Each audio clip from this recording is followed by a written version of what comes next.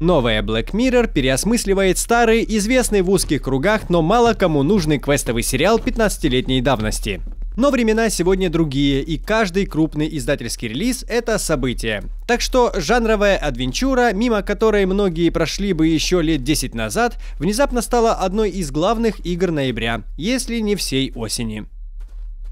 От оригинальной Black Mirror остались только названия и какие-то общие идеи. Снова местом действия стал большой и дремучий особняк Черное Зеркало. Снова главный герой носит фамилию Гордон. Занимается он тем, что вынимает скелеты из семейного шкафа. Правда, теперь особняк стоит в Шотландии, а не в Англии. Героя зовут Дэвид, а не Сэмюэл, и приезжает он в Черное Зеркало издалека, чтобы принять особняк в наследство после таинственной смерти отца.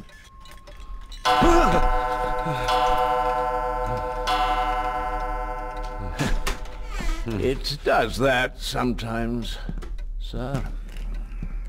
На пороге его встречают скользкий юрист, мрачная бабушка и ее вредный дворецкий. И с самого начала понятно, что они хранят какую-то тайну. Потом появляются еще несколько архетипных персонажей, вроде слепого садовника, родственника дебила и молодой и наивной служанки. Но все они до самого конца что-то не договаривают.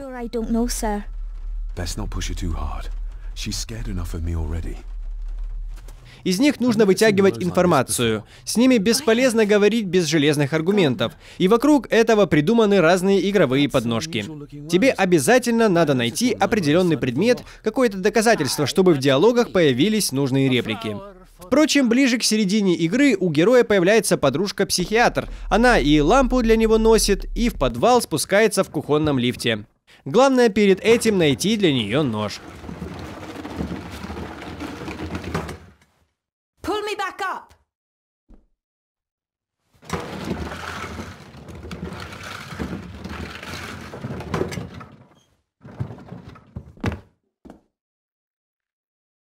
I need something to open the doors from the inside once I'm down there. Мила охает, едко отвечает и становится в красивую позу, когда ее не пускают в фамильную оранжерею. Правда, с ее появлением совсем пропадают намеки на триллер в духе Эдгара По, и начинается просто приятный детектив, который со временем становится готичным и все больше и больше паранормальным. А про хоррор забудьте. Кажется, никто не пытается его делать. Максимум игру пытались сделать атмосферной и увлекательной. Но зато в этом преуспели. Black Mirror замечательно держит интригу. Ей удается передать дух старого мрачного семейного дома, где тайны, смерть и призраки стали нормальным явлением.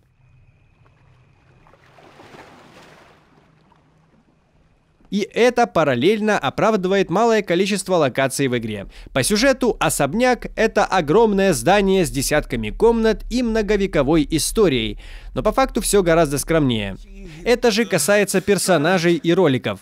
На анимацию часто больно смотреть. Особенно на то, как персонажи разворачиваются на месте или что-нибудь обходят. А иногда просто смешно, как они друг с другом общаются. Они могут разговаривать один на один, но при этом смотреть в разные стороны, как роботы или заводные игрушки. Да и внешность главного героя, так сказать, своеобразная. Если он похож на аристократа, то лишь на сильно пьющего. Примерно с самого детства. Но чувство прекрасного у разработчика все-таки есть. Диалоги написаны хорошо и озвучены они тоже прекрасно.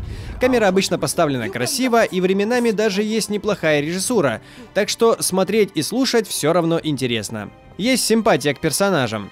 Тебе интересно, переживут герои ночь или нет. Selected poems by Edgar Allan Poe. Take this kiss upon the brow.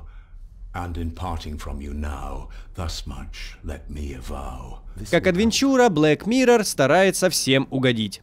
Она встречает прекрасными головоломками, когда нужно, например, открыть несколько замков комода, и она не пытается вести за ручку.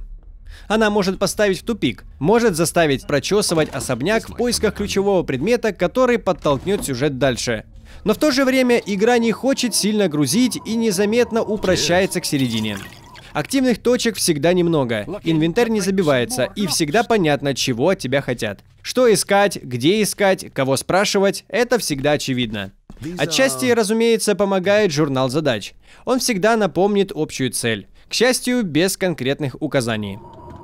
Хоть игра и похожа на классический квест с актуальной красивой картинкой, на самом деле она не намного сложнее ранних игр Telltale. То есть первых ходячих мертвецов или третьего сезона Сэма и Макса. Некоторые вещи, конечно, сделаны непонятно зачем. Например, когда нужно ворочать стиком, чтобы герой сконцентрировался. Но, видимо, это такая дань времени. Ничего страшного. Black Mirror хочет быть разнообразной и одинаково интересной всем одновременно современной и старомодной, и в целом она хорошо держит баланс. Из плохого здесь та самая неуклюжая анимация и какие-то редкие, но дикие технические моменты. Например, раздражающие долгие подзагрузки между комнатами,